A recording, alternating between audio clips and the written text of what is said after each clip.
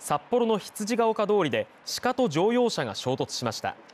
午後5時過ぎ札幌市豊平区羊ヶ丘で札幌中心部方向に向かっていた乗用車が鹿と衝突しました。乗用車を運転していた女性に怪我はありません。鹿は衝突後現場から立ち去りました。この事故からおよそ1時間前には 2km ほど離れた札幌国際大学のグラウンドでもオスの鹿の目撃情報がありました。